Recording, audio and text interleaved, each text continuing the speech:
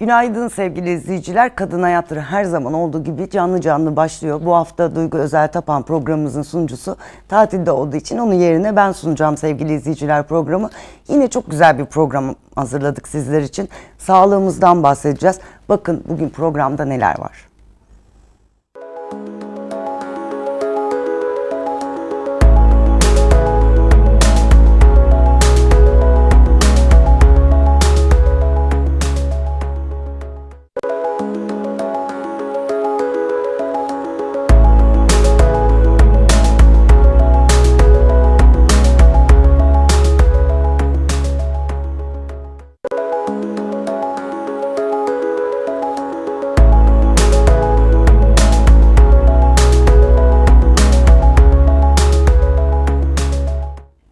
Sevgili izleyiciler ilk bölümümüzde midemizden bahsedeceğiz. Genelde biraz arka plana atıyoruz midemizi.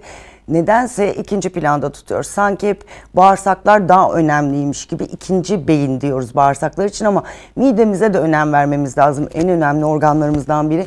Ne işe yarıyor? Ne gibi hastalıklar var? En önemlisi de mide kanserinden bahsedeceğiz bu bölümümüzde. Çok değerli bir hocamız var. Sağlık Bilimleri Üniversitesi'nden katılıyor programımıza kendisi. Profesör Doktor Mehmet Mida, Mihmanlı. Hocam hoş geldiniz. Günaydın, hoş bulduk. Çok teşekkür ediyoruz. Bugün bizimle birliktesiniz. Ben teşekkür ederim davetiniz için. Sağ olun. Sağ olun. Hocam midemizden bahsedeceğiz. Mide e, birazcık ikinci plana atılıyor gibi düşünüyorum ben. Haklı mıyım sizce Çok hocam? Çok doğru. Özellikle günümüzde de bazı tartışmalar da yapılıyor. Hani şişman hastaların sürekli mideleri üzerinde hı hı. tüp mide, tüp mide, tüp mide şeklinde biraz mideye saygısızca yaklaşıldığını kabul etmek lazım. Hı hı. E, mide önemsiz bir organmış gibi davranıldığını kabul etmek hı hı. lazım. Aslında biraz hocam yapısından bahseder misiniz? Mide nasıl bir organ? Tamam biz yemek yiyoruz, onun sindirdiğini düşünüyoruz. Sadece bu kadar mı midenin görevi? Çok güzel söylediniz. Midenin görevi sadece bu kadar değil. Aslında belki de burası midenin en az e, yüklendiği bir görev. Hı. Mide depolama, e, sindirme hı hı. ve yine sindirim sistemini e, dış etkenlerden koruma gibi yükümlülükleri olan bir organ. Midenin içerisinde midenin kendisinin salgıladığı hidroklorik asit var. Hı hı. Mide pH'i bir buçuk düzeyinde. Yani e, öyle bir asiti pantolonunuza damlatsanız deler. Bu kadar, o kadar kuvvetli bir, bir yapı. asit. Dolayısıyla yuttuğunuz mikroplar, sokaktan işte temizlemeden yediğiniz gıdalar içerisindeki mikropları o asit hemen yok ediyor. Hı hı. Yoksa e, mikropların istilasına uğrarız. Hı hı. Mide depo görevi görüyor.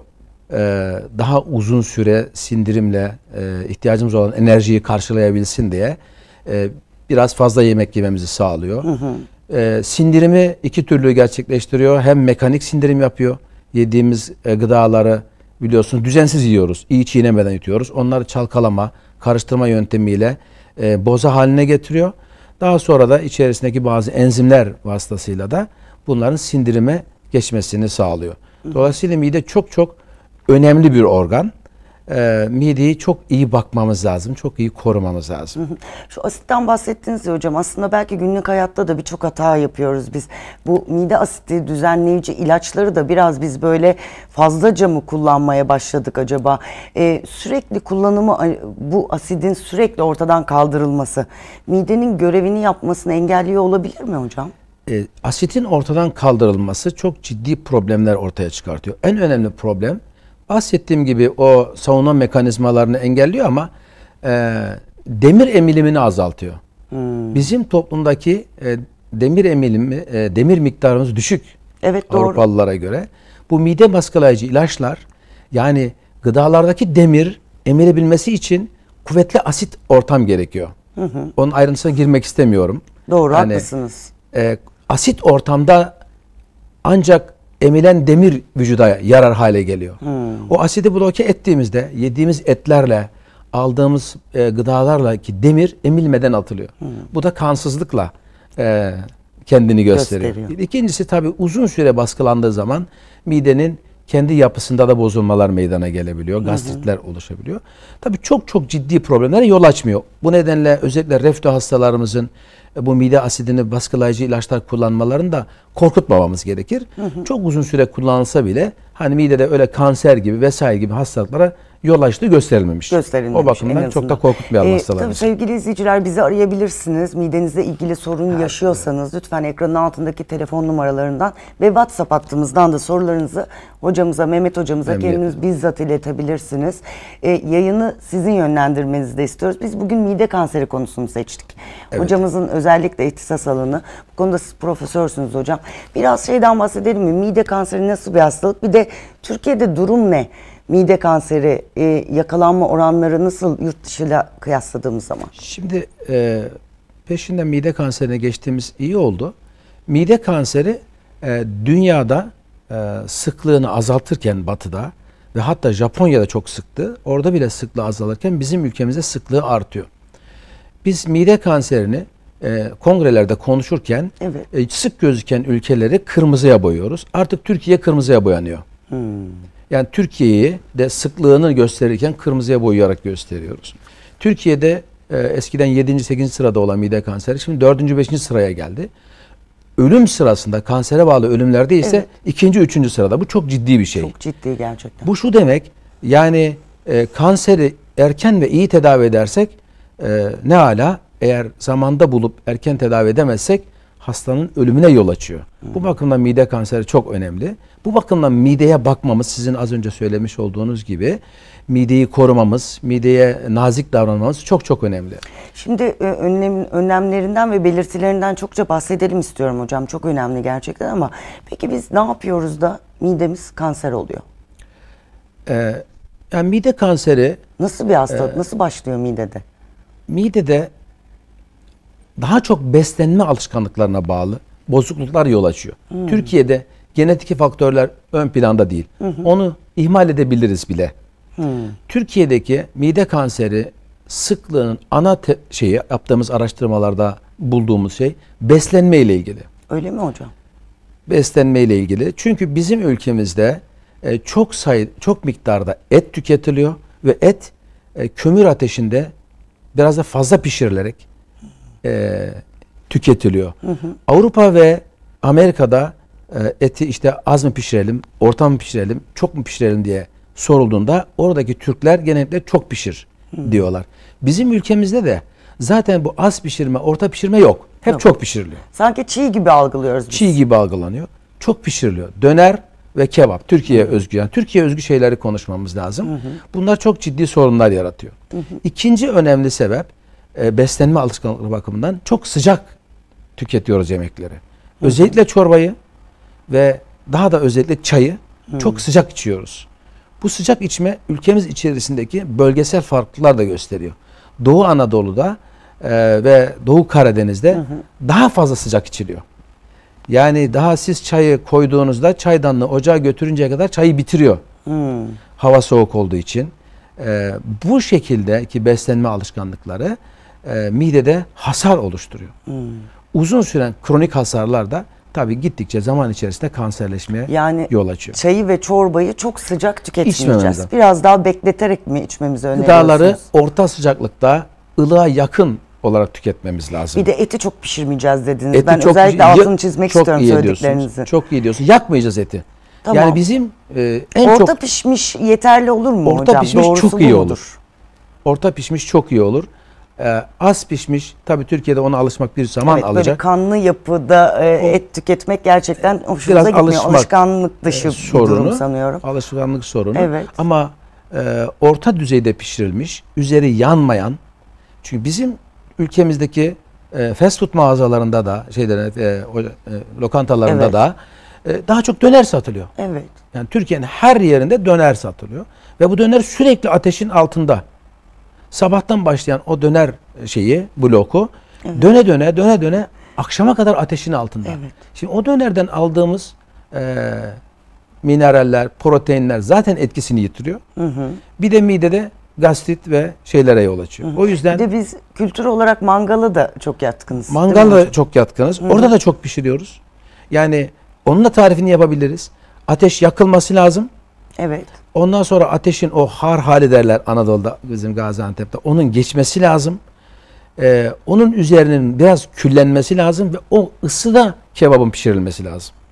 Böyle alevler içerisinde e, kebabın pişirilmemesi lazım. Eğer etin üzerinde ya da yağ parçasının üzerinde siyahlık oluşuyorsa o zararlı. Yani kömür zararlı. Onu en azından yemeyelim bari. Atalım. Evet, öyle ya da varsa kesip en azından. atalım. O O, zaman bölümünü. etin yarısı gidiyor. Ben denedim. yani bizim ülkemizde eğer iyi pişirilmemiş e, kebaplarda o etin üzerindeki yanığı attığınız zaman üçte birini atmış oluyorsunuz. Bu da Kaldı ki et fiyatlarını da dikkate alırsak alsın. bu da biraz e, maalesef ki zor. onun pişmesine bir standartizasyon getirilmesi, Getirilmesi lazım. lazım. Ee, bol sebze meyve yiyelim. Tamam burası Tamam. tamam. Çünkü bazı koruyucu e, gıdalar var. Onların az alınması da e, riski arttırıyor. Taze sebze ve meyve mide kanserinin e, önleyici e, tedbirleri arasında. Çok güzel. E, uzun süre bekletilmemesi lazım yemeklerin. Tamam. İçerisinde aflatoksinler dediğimiz e, mikroplar birikiyor. Gaz, midenin mukozasını bozuyor. Ben tıbbi terimler kullanmak istemiyorum. Lütfen hocam. Yani anlayacağımız dolapta gibi. en fazla yani dünkü yemeği yiyelim. Çok fazla bekletmeyelim yemekleri. Dolapta dahi bekletmeyelim. Ee, Taze önceden pişireceğiz. Taze yemekler, taze sebze meyveler yiyelim. Ee, eti orta düzeyde tüketelim. Hem çok fazla et tüketmeyelim hem de e, eti nasıl tüketmek istediğini söyledik. Yemeklerde pişirilen etin sorunu yok. Ee, onlar koruyucu etkiye sahip. Üçüncü ve dördüncü sırada ise Türkiye'de tuz tüketimi geliyor.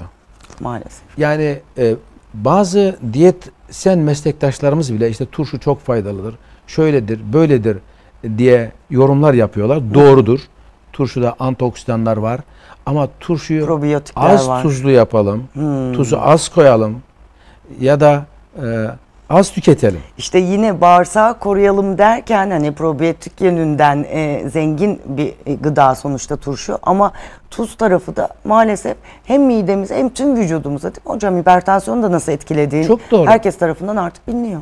E, daha önceki e, bir sohbetimize söylemiştim hatırlarsınız. E, çay ve şekere, e, özür dilerim, tuz ve şekere sigara muamelesi yapılması lazım. Öyle mi hocam? Evet. Yani bu kadar net söylüyorum. Tuza ve şekere, Şekere. sigara muamelesi yapılması lazım. E, bunları daha önce de söylemiştim. Yani lokantalarda tuzlukların kaldırılması lazım. Aslında böyle bir çalışma başlatıldı ama sanırım tam uygulamaya geçilemedi maalesef. Her şey alışkanlık. Doğru. Tuzu e, alışkanlık haline getirdiğinizde tuzsuz yemek yiyemiyorsunuz. Doğru. Tuzsuza alıştığınız zaman da tuz attığınızda o yemeği yiyemezsiniz. Aynı şekerde olduğu gibi değil mi hocam? Şekerde Şekeri olduğu gibi. kestiğimiz zaman çay ve kahveden artık şekerli tüketmek imkansız, İmkansız hale hale geliyor. Yani düşünün günde 20 bardak çay içiyoruz. Türkiye'nin önemli bir, bir şey. Çay faydalı bir şey. E, bardaklarımızda var. 20 bardak çaya ikişer şekerden 40 şeker attığınızda 200 gram şeker almış oluyorsunuz. Evet. 800 kalori ediyor. Bu hesaplanmamış bir şey. Yani ben bir şey yemiyorum ki diyor icabında vatandaş. Doğru. Bu nedenle hani tuz ve şeker yine benden nasibini aldılar. Gerçekten bu şekilde e, uzaklaştırılması lazım. Benim salatama az bir şey tuz atılsa bunu hemen hissediyorum ve tuzu o salatayı yemez hale geliyorum. Kenara itiyorum. Harika. Tamamen tuz atılmadan yenmesi lazım yapılan salatalar. Gerek yok buna. O biraz limon ve biraz zeytinyağı Özellikle çocuklarımızda çocukluk döneminde edinilen alışkanlıklar ömür boyu devam eden devam ediyor. Bunlardan mi? vazgeçebiliriz. Dolayısıyla evde pişen yemeklerde ya da yapılan salatalarda dediğiniz gibi tuz miktarını ne kadar minimuma indirirsek Mümkünse Hiç mi sıfır. kullanmayalım sıfır. hocam? Salatada tuza ihtiyaç yok. Zaten salatada kullandığınız meyvelerin içerisinde yaratan tuzunu koymuş içine. Onun içerisinde tuzu var, sodyumu var, potasyumu var. Dengeli. Siz dışarıdan tuz attığınızda onun o doğal yapısını bozuyorsunuz. Potasyum boşa gidiyor mesela. belki bazı soslarla tatlandırabiliriz ya da baharatlarla tatlandırmak söz konusu olabilir mi? Alışkanlıkları kırmak adına soruyorum hocam. Muhakkak muhakkak ama o tür soslar hepsi iştahı a- arttırdığı için bu kez karşımıza belki birazdan o konuya gireceksiniz. Obeziteyle karşılaşıyoruz. Mutlaka konuşacağız hocam. Sizi Obeziteyle- bulmuşken sormadan Evet, evet. geçemem obeziteyi. Obeziteye yol açıyor. O tatlandırıcılar. işte isimlerini vermek istemiyorum da hani ta- bizim bizim bizim salçayla tatlandırın mesela. Evet. Salça da Salçayla sorun yok. çünkü. Ama e, ketçap, mayonez hani onlar herhalde özel marka değil değil mi? Değil o tür şeylerle tatlandırdığınız zaman ağzınıza bir tat veriyor. Siz o tadı devam etmek istiyorsunuz yemek Hmm. yerken. O tada devam edebilmek için de yanındaki hamuru yiyorsunuz, eti yiyorsunuz, patatesi yiyorsunuz. Aslında sizin arzu ettiğiniz şey o tatlandırıcıların verdiği hazza devam ediyorsunuz. Bu nedenle kesinlikle karşıyım. Bütününe karşıyım yani. Bu anlamda Türk soslar. salçası. Türk salçası kullanacağız. Tamam. Tatlandıralım soslarla derken hocam mesela limon kullanalım, zeytinyağı, Evet, nane, anladım. kekik Güzelleştirelim. gibi. Ondan bahsediyorum. Tamam, Hani tuzun doğru. yerine koyabileceğimiz önerilerde bulunalım Çok diye aklıma geldi söylediniz. ama siz bu uyarıyı iyi ki yaptınız. Çünkü öyle düşünülebilirdi. Sos, Çok- sos derken salçadan Bravo. ya da e, limon ve yağdan bahsedelim. Ya da nane gibi evet. ıtırlı bilgilerden Çok bahsediyor olalım. evet. Hocam bir sokağa çıktık. Tatlandırma tat hep şekerli şeye gidiyor ya. Ben de belki biraz yanlış anladım herhalde. Yok yok hocam ama iki uyarıyı yaptınız. Güzelleştirelim. Salçaya, zeytinyağı, hep özel- salataya zeytinyağı koyalım, Limon limon, koyalım. koyalım. nane koyalım, zerdeçal koyalım. Gaziantep'in sumak ekşisinden koyalım. Oh, ne güzel. Mesela bunları koyalım. Belki o zaman tuza ihtiyacımız da kalmayacak. hiç ihtiyaç kalmıyor. Kesinlikle. Gerçekten kalmıyor. Sokağa çıktık hocam. Sorduk. Tüketim alışkanlıklarınız nasıl diye beraber izleyelim. İzleyelim. Kadın Hayattır programı için Eminönü'ne geldik ve mikrofonu sizlere uzatıyoruz. Bakalım sağlık konularında ne kadar bilinçliyiz ve sağlığımıza ne kadar önem veriyoruz. Çok sıcak yemekler tüketir misiniz? Yok hayır çok sıcak yemek tüketemiyorum. Genelde ılık seviyoruz zaten. Sıcak çay içiyorum. Yemeği sıcak sevmem ve çok sı- çayı sıcak severim. Onda biliyorsunuz midede etkisi falan çok oluyor. Boğazda bazen yanma oluyor, şey oluyor. Üzerine de bir su içip böyle geçiştiriyorum. Sıcak sevmiyorum. Sadece çayı sıcak e, içiyorum. Tüketmiyorum. ılık yemekleri yiyelim yani. Normal sıcak hararet yapıyor. o yüzden terleme yapar. Hayır. ılık. Bu sıcaklarda pek yenmiyor ama yani kışın tabii çorba falan sıcak yeniliyor yani. Yani yemeğin çeşidine göre değişiyor açıkçası. Mesela bazı yemekler daha sıcak tüketilince daha güzel oluyor ama ben daha çok sıcak yemek seviyorum ama eşim pek sevmiyor. Midem e, reflü olduğu için ben fazla yiyemiyorum ama biraz şikayetçiyiz tabii. Çok sıcak yemek yiyorlar mıymış? でも、えーめっちゃ熱い食べ物食べてる Aa, taberu. Hmm, Evet yiyorlar. Teşekkür ederim. Arigato. Arigato. Evet. Çok güzel. e, arigato. ne güzel değil mi cevaplar hocam? Ilık tüketiyorum dediler. Gittikçe e, Bilinç vatandaşlarımız artıyor mu? bilinçleniyor. Bu sizlerin bu programları sayesinde, Sizler bizlerin sayesinde hocam. e, bu konuya önem vermemiz sayesinde vatandaşlarımızın da e, bilgiye açlıklarının e, giderilmesi, buna aç olmaları ve bunu tatmin etmeye çalışmaları bizi başarıya götürüyor. Tuzu da sorduk hocam. Merak ettik. Tuz Ben de tüketimi merak ne ettim. durumda Ben de merak Türkiye'de? Vatandaşlarımız ne düşünüyor bu konuda Evet. diye ona da hemen kulak verelim. Buyurun. Tuz tüketimine dikkat ediyor musunuz? E, tuzu 4-5 yıldır azalttım. Yememeye çalışıyorum. Yemiyorum daha doğrusu. Az kullanıyorum tuzu. Tekrar yemeğe tuz atmıyorum ama e, biraz tuzu kaçırabiliyorum yani. Ben 3 tane beyazdan uzak duruyorum. Bunların başına tuz geliyor. Şeker ve un. Ee, olduğu kadar. Evet genelde dikkat ediyoruz. Ekstra tuz atmamaya gayret ediyorum yani. 汗かいた時に料理に少し 多めに入れる。Aa, ya sabahları böyle yorulduğu zaman falan azıcık yemeklerini atıyormuş. Öyle çok Japonlar zaten öyle çok tuzlu şeker kullanan insanlar değil. Evet hocam. E, Gözde Çelik'e çok teşekkür edelim. Sokağa çıktı bizler için soruları yöneltti. Çok da güzel cevaplar aldık. Bayağı dikkat ediyoruz artık tuz Yani tüketimine. ben de çok teşekkür ediyorum. Bizden habersiz en can alıcı noktaları sormuş vatandaşlara.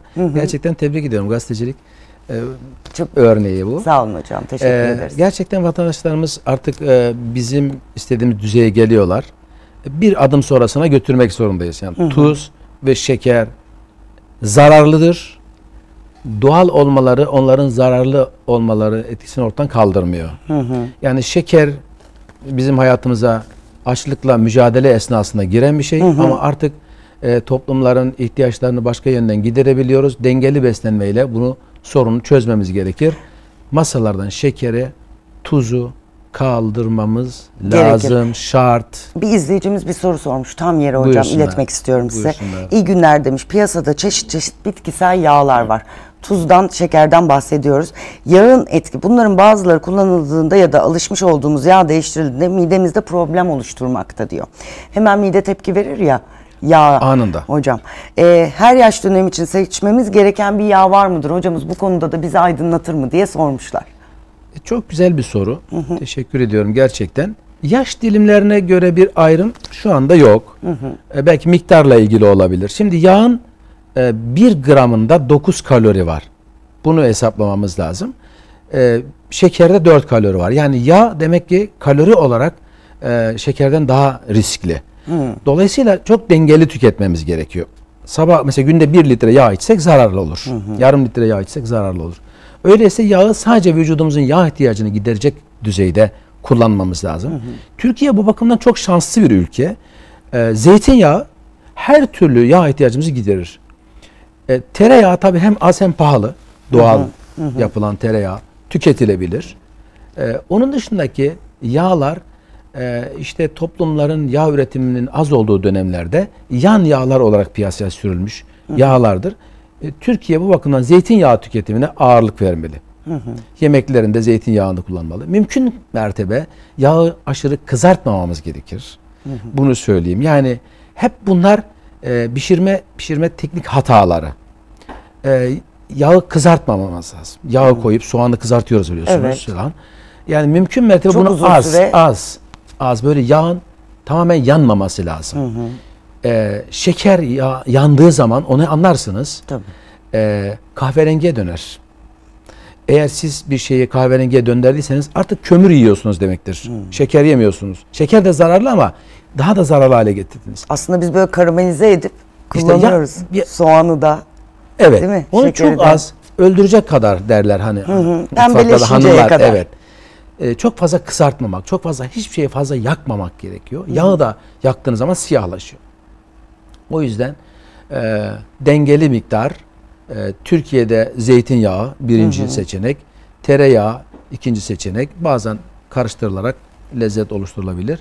Bu yağlar kullanılabilir. Allah ne güzel tam bizim anlayacağımız gibi anlattığınız için hocam. Mutfağa kadar e, inip bu bilgileri bizimle paylaştığınız için gerçekten çok teşekkür Evet, ediyorum. Siz bir genel cerrahi uzmanısınız ama. Ama Gaziantep'liyim ya, onun evet. şeyi var. Hocam bir de tabii tecrübeler değil mi? O kadar çok hastayla karşılaşıyorsunuz ki. Bütün bunları da deneyimlemiş ve e, hem de bir yandan da tabii bilimsel olarak da kanıtları takip ediyorsunuz. araştırıyoruz tabii Araştırıyorsunuz. hastalarımıza e, bir hastalık bulduğumuz zaman e, Sebebi ne? öğrencilerimize de anlatıyoruz. Önce hastayı dinle. Önce hastayı dinle. Önce tahlil isteme. Hastanın şikayeti ne? Ne zaman başlamış? Nasıl olmuş? Ne yemiş de olmuş? Yediği bazı şeyler arttırıyor mu? Yediği bazı şeyler azaltıyor mu? Önce onu sor. Biz de bunları sonra sonra hastalıklarla e, beslenme arasındaki ilişkiyi artık ortaya koyabiliyoruz. İşte önleyici hekimlik dediğimiz şey aslında o tanımın içinde değil mi hocam bu? E, sonuçta beslenmemiz bizim sağlığımızı etkiliyorsa hastalıkların oluşmasını da etkiliyor. önleyici e, programlar her zaman için en ucuz ve en etkilidir. Bunu siz diğer programlarınızda da konuşuyorsunuz, konuşacaksınız. Örneğin kadınlarda meme kanserine karşı Bugün konuşacağız Tarama- meme kanserini mesela. çok güzel. E, tarama yöntemleri, kalın bağırsak kanserlerine karşı tarama yöntemleri. En azından Türkiye'de belli yaşın üzerinde rutin kontroller dediğimiz bir defa check-up'ın yapılması, e, tarama yöntemlerinin uygulanması Türkiye için çok pahalı. Yani kalkalım, Türkiye'yi tarayalım. Kaç tane mide kanseri var? Bu e, ekonomimiz bunun altından kalkamıyor. Ama 55 yaşın üzerindeki, 50 yaşın üzerindeki insanlar bir kez gastroskopi yaptırsınlar, midelerine bir endoskopi yaptırsınlar, bir kolonoskopi yaptırsınlar, bir defa yaptırsınlar.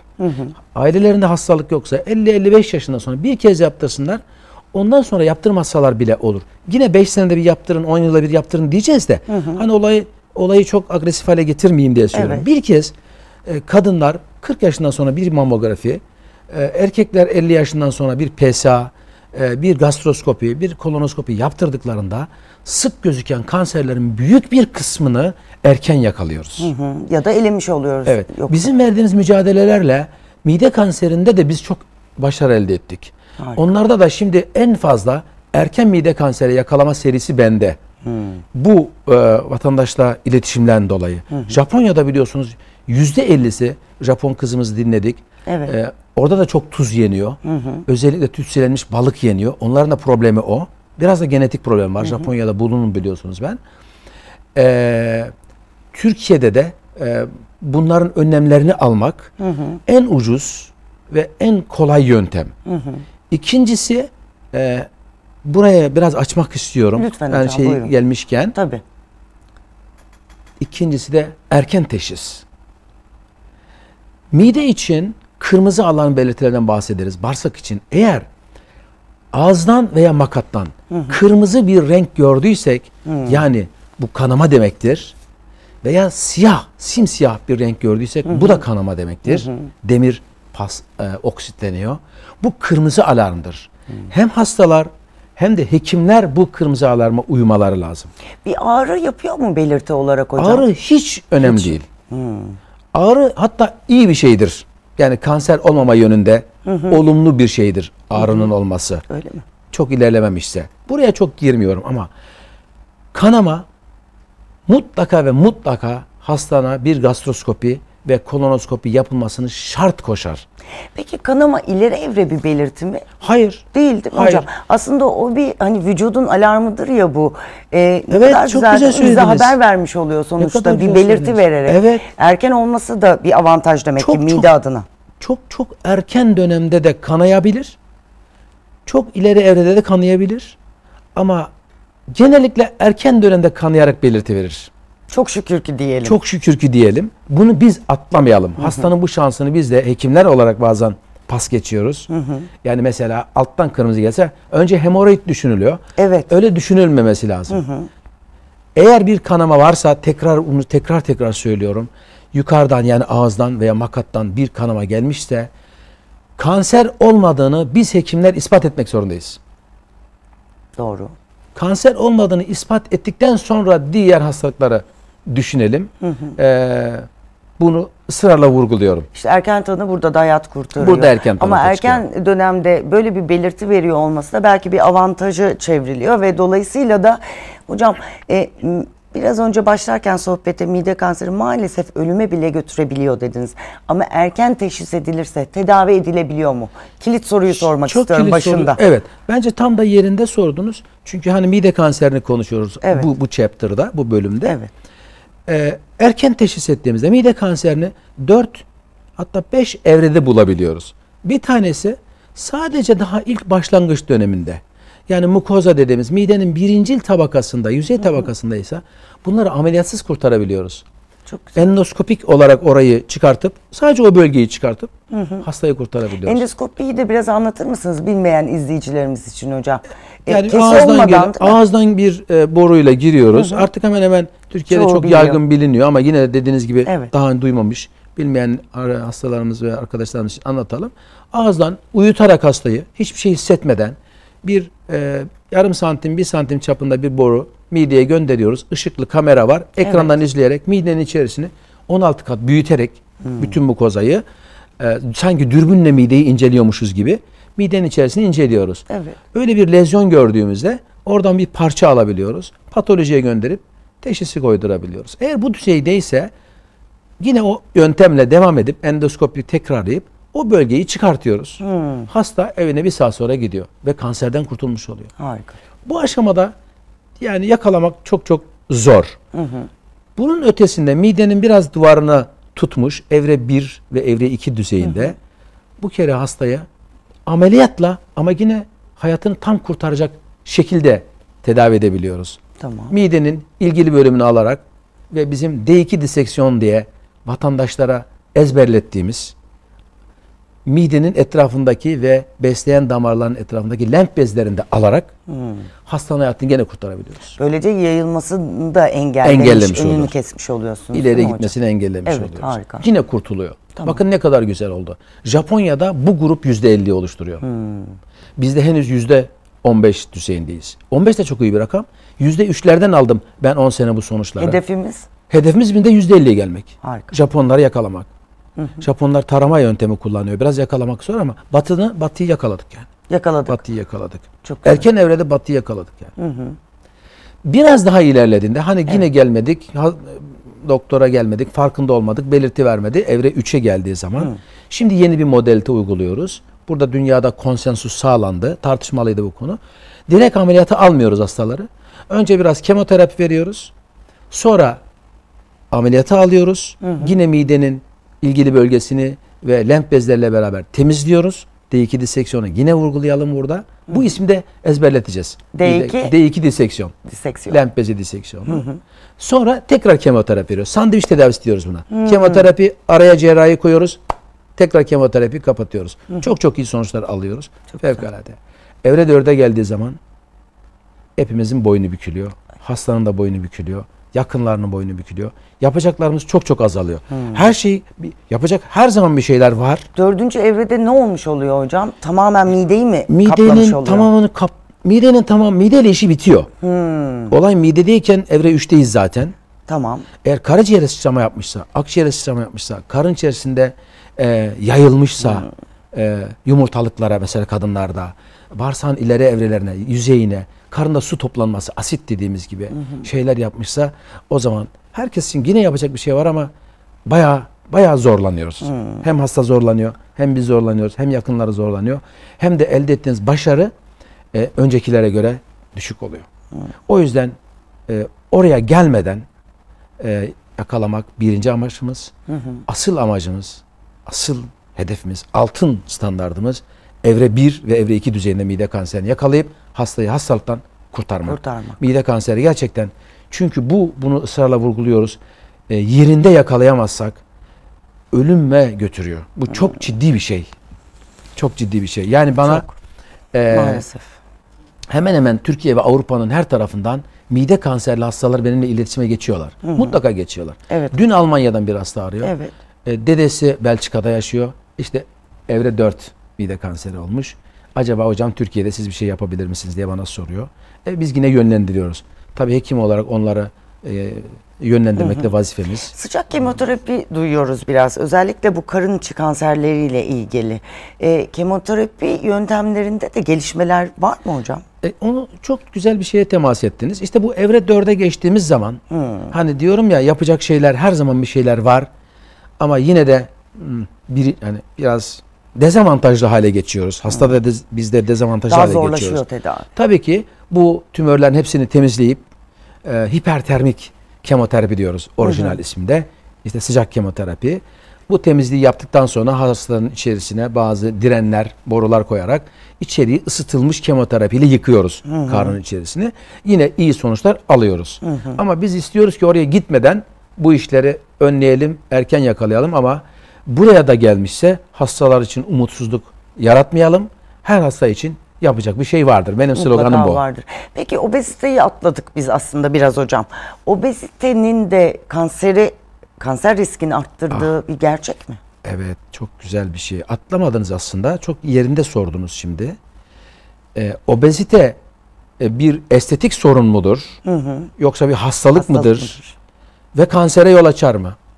Obezitenin yani daha geçen ay e, çıktı yayını. Evet. Amerika'dan çıktı. Okudum. Evet. Obezitenin e, kolon kanserini, rahim kanserini ve meme kanserini arttırıcı etkisi olduğu ispatlandı. ispatlandı ve yayınlandı öyle mi? Yayınlandı evet. Biliyorduk, söylüyorduk, görüyorduk. Yani şişman hastalarda kalın bağırsak kanseri daha fazla oluyor. Şişman hastalarda meme kanseri daha fazla oluyor. Şişman hastalarda morbid obezite, hafif balık etinden bahsetmiyoruz Türkiye'de. Ama şişman hastalarda e, bu kanserlerin çok olduğunu biliyorduk, söylüyorduk ama yapılan ön bir araştırma, uzun süreli takip edilen bir araştırma bunun gerçek olduğunu ispat etti. İspat etti. Kansere yol açıyor. Obezite tabii mideyle ilgili ya mide kanserine yol açmıyor. Hani öyle bir karışıklık yaratmayalım. Tamam. Mide kanseri üzerinde de risk faktörü oluşturuyor. Ama ağırlıklı olarak e, kolon, uterus ve e, meme kanserinde e, arttırıcı etkisi var. Ve bu yayın olarak da paylaşıldı. Paylaşıldı. Evet, Literatüre de evet, geçmiş evet, oldu. Yani ge- geçen ay yayınlandı E, ve tabii okuduk. tüp evet. mide ameliyatları biz genelini tüp mide ameliyatı diye adlandırıyoruz. Aslında çok çeşitli ameliyatlar var. E, mide küçültme ile ilgili hocam. E, burada da bir soru işareti oluşabiliyor. Gitgide artıyor Türkiye'de de obezite ameliyatı sayısı. Doğru yapılıyor, doğru hastaya uygulanıyor. Tartışmalı geçiyor bu süreç ama e, çok da yeni başladığı için yeni diyebiliriz bu operasyonlarla Kesin, ilgili kesin. hocam. Tam net sonuçlarını da göremediğimiz için ileriki evre sonuçlarını göremediğimiz için de bir soru işareti var. Obezite ameliyatı da kanser riskini arttırır mı? Son sorum olacak. Aslında süremizi bitirdim ama çok sorum Şimdi var size hocam. Daha önemli bir şey söyleyeyim. Kanser riskini arttırdığını söyledim zaten. Obezite ile ilgili hastalarımızın çok uyanık olması gereken bir nokta var. Biz kendimiz cerrahlar arasında da tartışıyoruz. Obezite cerrahisi de yapıyorum ben. Burada hastaların hekimleri zorladıklarını görüyoruz. Yani ameliyat sınırına girmediği halde ameliyat olmak isteyen hastaların Evet. doktorlarını ikna etmeye çalıştıklarını görüyoruz. Evet. Biz hekimler arasında da bunu tenkit ediyoruz doktorlara. Bu tuzağa düşmeyin diyoruz. Bu ciddi bir problem. Kendi aramızda da ciddi bir problem.